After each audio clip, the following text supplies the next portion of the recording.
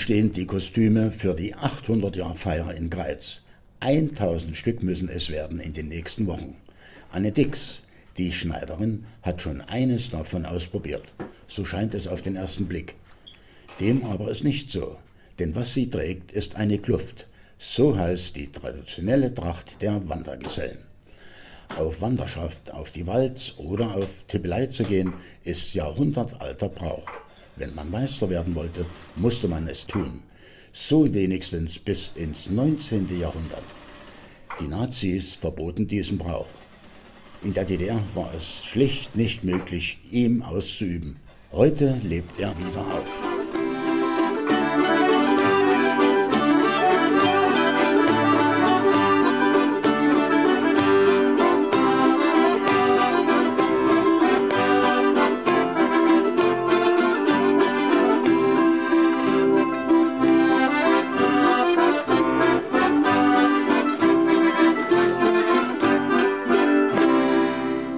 Ende der Lehrzeit erfolgte die Freisprechung. Nun war man Geselle und konnte sich auf die Wanderschaft begeben. Man verlässt seinen Heimatort für drei Jahre und einen Tag, ähm, zieht in die Weltgeschichte raus, arbeitet bei verschiedenen Meistern in seinem Beruf, um halt was dazu zu lernen und ein bisschen die Welt und die Leute kennenzulernen. Genau, man darf seinen Heimatort nicht näher als 50 Kilometer betreten. Man hat eine sogenannte Bannmeile. Ja, und die ist halt tabu in dieser Zeit. Man soll halt in der Fremde sein. Man kann diese Wanderschaft eigentlich in jedem alten traditionellen Handwerk machen. Und unterscheiden tun wir uns in den Farben der Klüfte.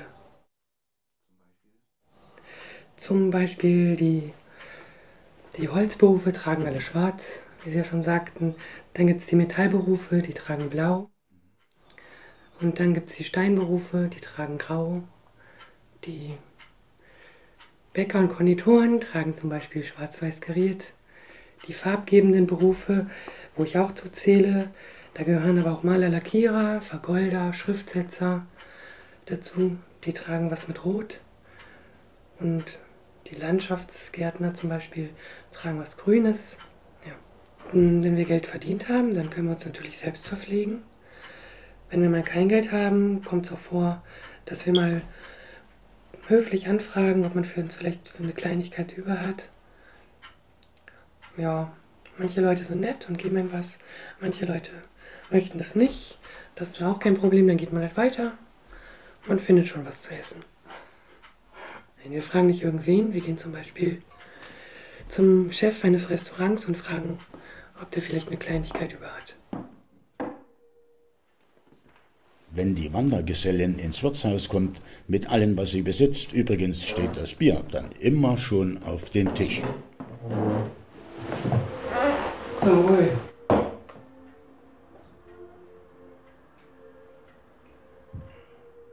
Wir hm, rollen unsere, unser ganzes Hab und Gut in Tücher ein, die nennen sich Charlottenburger und tragen es halt an einem Lederriemen über der Schulter. Ja, man darf alles mitnehmen, was man tragen kann. Das reduziert sich sehr schnell, wenn man mal einen Tag gewandert ist.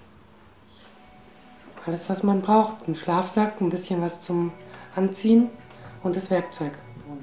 Man findet in den Werkstätten natürlich auch Werk Werkzeug vor, aber jeder hat so sein persönliches Werkzeug, womit er gerne arbeitet, was er dann auch mitnimmt.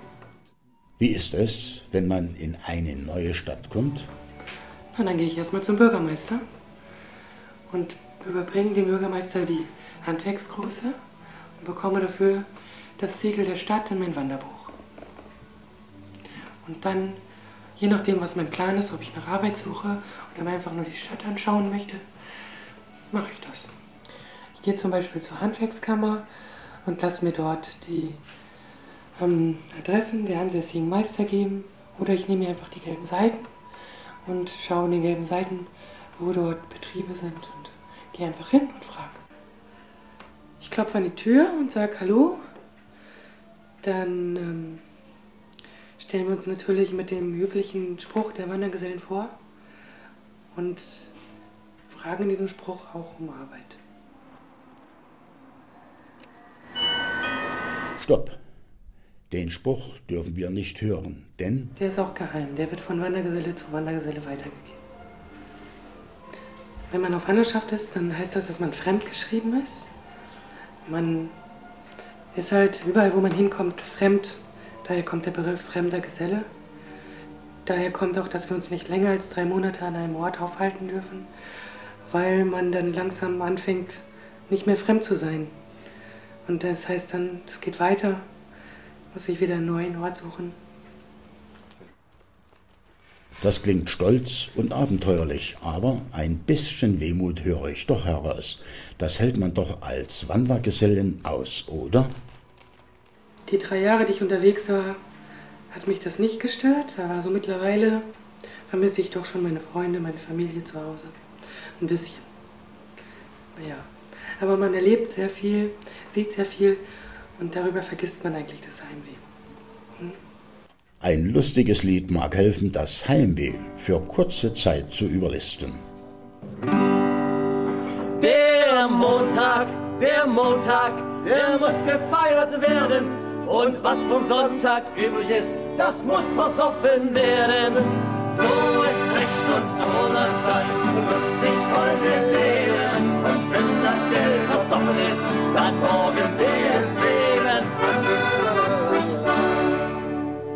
Am Dienstag, am Dienstag, da lieg ich bis auf neun. Dann kommt des Meisters Töchterlein und legt sich zu mir ein. So ist Recht und so das sein, lustig wollen wir leben. Und wenn das Geld versoffen ist, dann morgen wir es leben. Am Mittwoch, am Mittwoch, da ist die mit der Woche.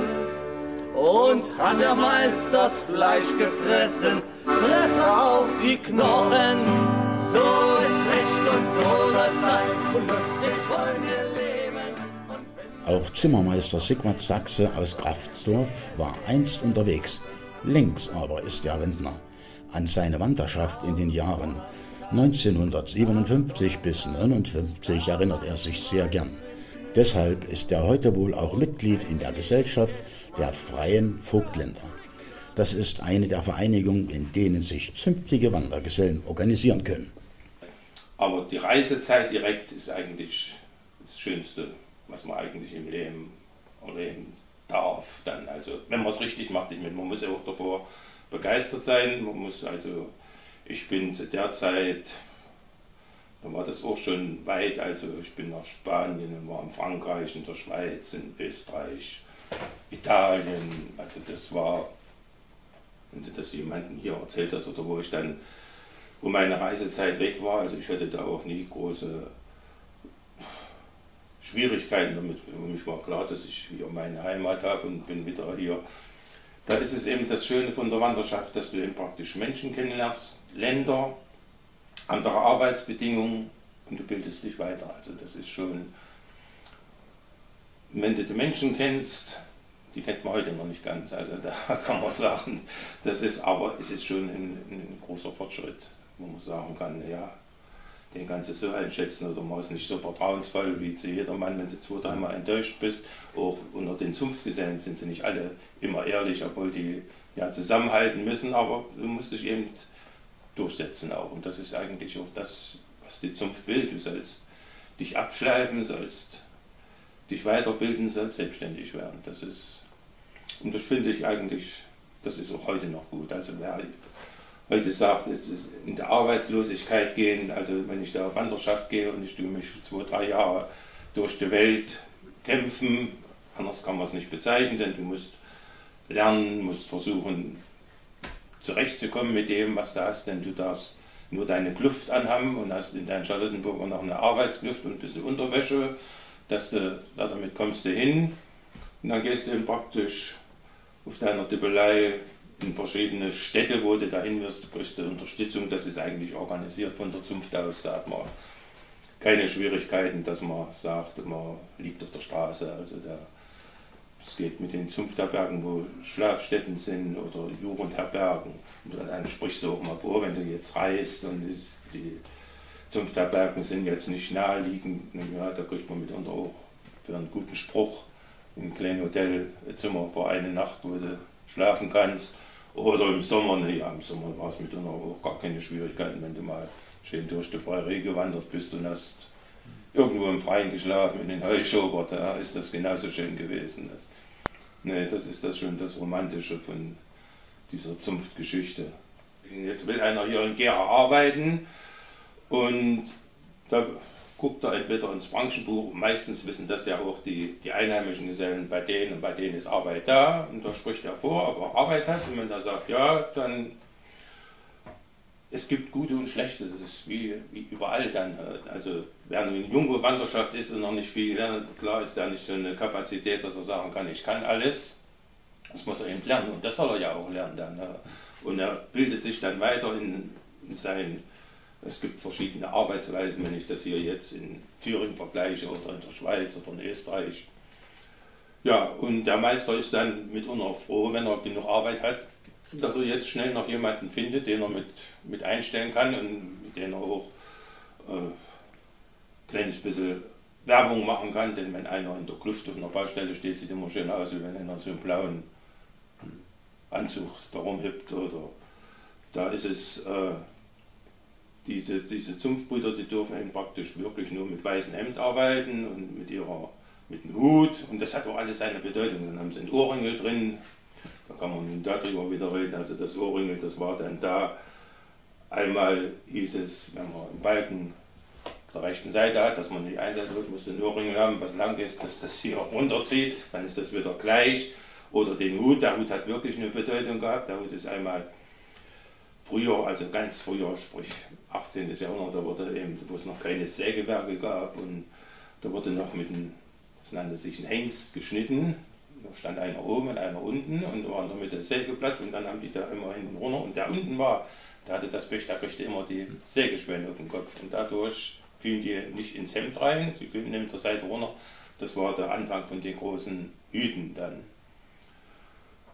Ebenso gut war das mit den die Zimmermanns, die Klüfte, die haben unten so einen Schlag, nennt man das. Dadurch, dass die Sägespäne nicht in die Schuhe fallen, sind die immer davon abgefallen. Ja. Jede Zunft hat eben ihr verschiedenes Zeichen, das sind eben die Schwarzen, die Roten, die Blauen und die freien Fruchtländer. Die freien Fruchtländer haben eine Ehrbarkeit. Am Sonntag, am Sonntag, da muss der Meister zahlen. Und wenn er nicht bezahlen kann, dann kann er auch nicht prahlen. So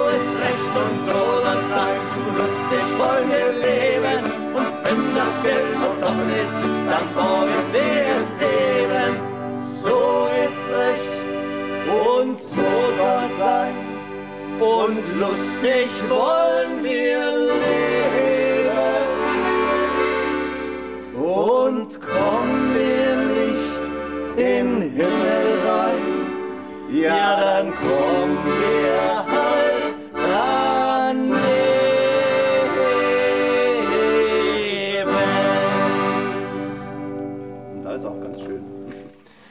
Ja, es gibt sieben verschiedene Schächte.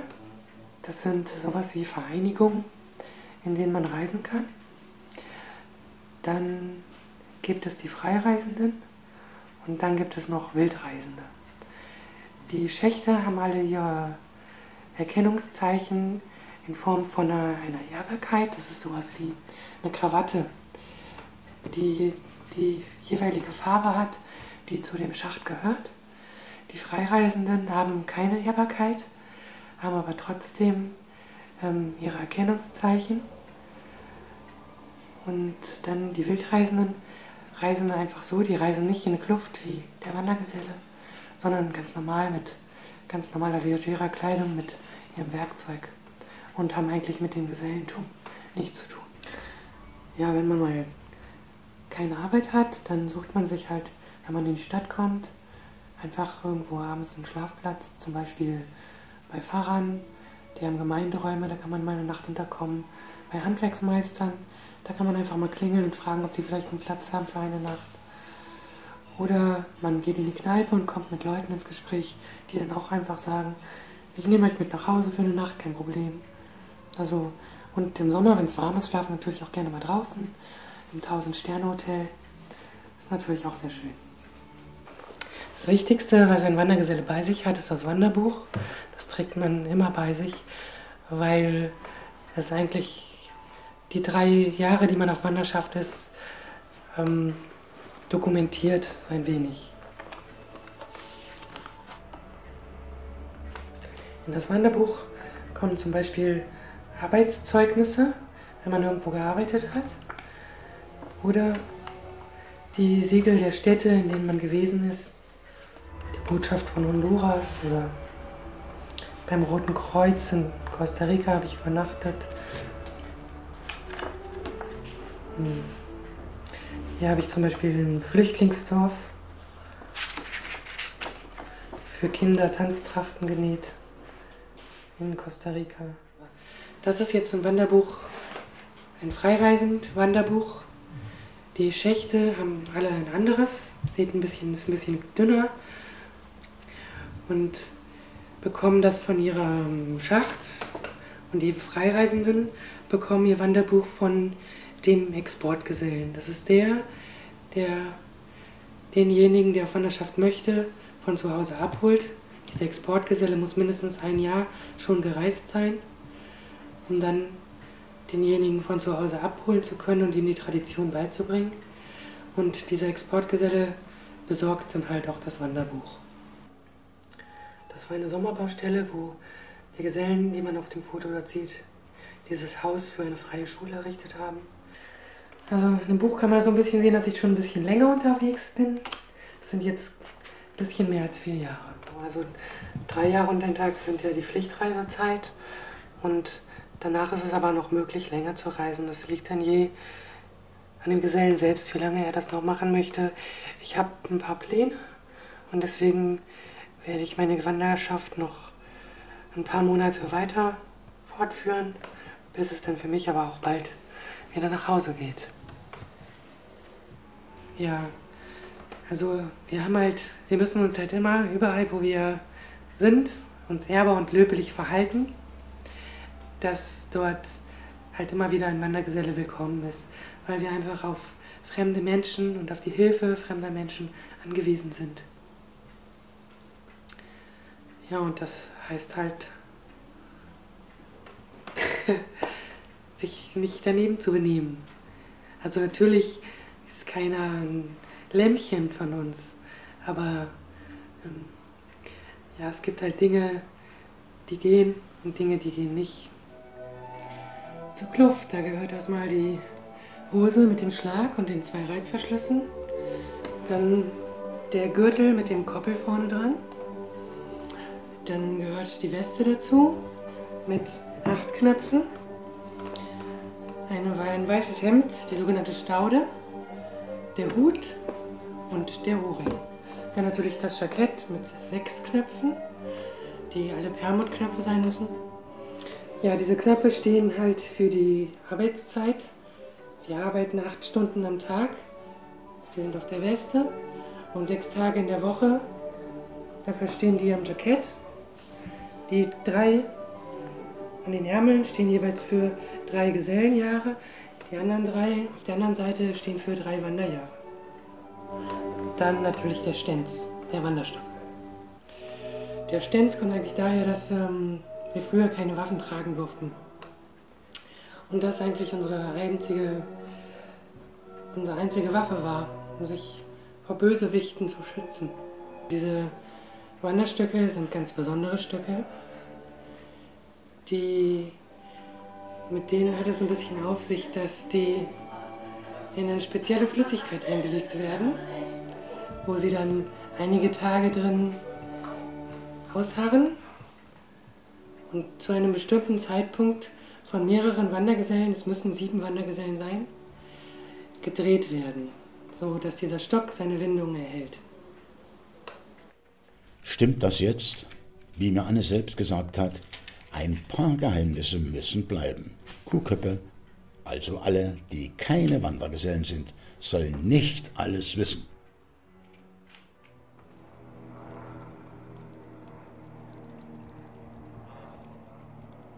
An einen sonnigen Frühlingstag traf ich Anne. Sie hat kein Bankkonto, weiß oft nicht, ob sie Arbeit und Quartier bekommt, wenn sie einen fremden Ort betritt und muss spätestens nach drei Monaten wieder weiterwandern. Unvorstellbar für unser einen, aber ein wenig Neid auf die Freiheit und die Abenteuer kommt doch auf. Zum Abschluss lade ich Anne noch zum Essen ein. Da nimmt sie doch tatsächlich ihre Kopfbedeckung ab. Wann, so frage ich, darf man das? Beim Essen, in der Küche, in der Theke und in der Kirche. Zum Schluss erklärt sie mir noch den Ursprung zweier Redensarten. Also das Kerbholz bekommt man, wenn man auf Wanderschaft geht, wenn man gerade losgeht, bekommt man das von demjenigen, der einen von zu Hause abholt. Und man muss ja einige Regeln lernen, wenn man losgeht. Zum Beispiel, wann man den Hut abnimmt und wann nicht. Und äh, bekommt man halt, wenn man irgendwas falsch gemacht hat, eine Kerbe in sein Kerbholz, die man hinterher auszulösen hat. Die Kerben in Form von einem Bier pro Kerbe zum Beispiel. Muss nicht sein, aber kann sein. Ja, und mit dem Horing hat es halt das auf sich, dass der früher dafür da war, dass es war halt ein goldener Horing. Und wenn man irgendwo in der Fremde verstorben war, wurde halt von dem Horing das Begräbnis bezahlt. Und das Schlitzohr, das kommt daher, wenn jemand sich ähm, falsch verhalten hat, also nicht ehrbar und löblich, ähm, konnte es passieren, dass der Ohrring rausgerissen wurde und man hat halt dann einen Schlitzohr. Und nun geht es an Sachen ab. So ist mal ordentlich, ne?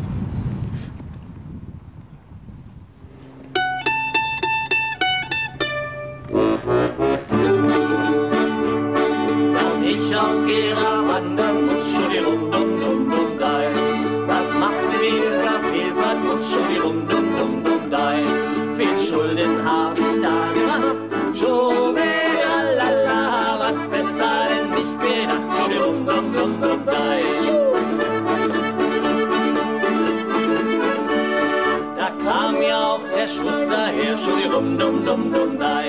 Der legt mir eine Rechnung her, dum dum dum dum dai. Für ein paar Stiefel, ein paar Schuh, Schuh, la und noch ein paar so dazu, dum dum dum dum dai. Da kam ja auch der Schneider her, dum dum dum dum dai. Der legt mir eine Rechnung her, dum dum dum dum dai. Einen neuen Biberrock, Schorelala, der gottverdammte Ziegenbock, schon rum, dum, dum, dum, dei.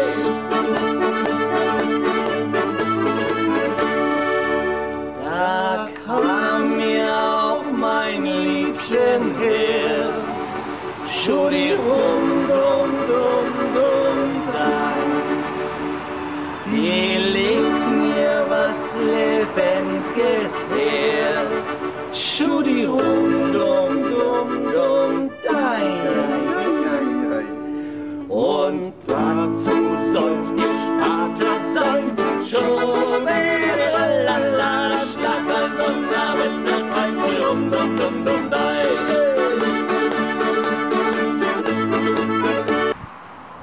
Eines habe ich bei meiner Begegnung mit Anne gelernt. Eine Wandergesellin oder Einwandergeselle im Auto mitzunehmen. Man denke an das löbliche Verhalten. Ist eines der ungefährlichsten, spannendsten, aber auch löblichsten Angelegenheiten. Also dann, gute Reise, alle.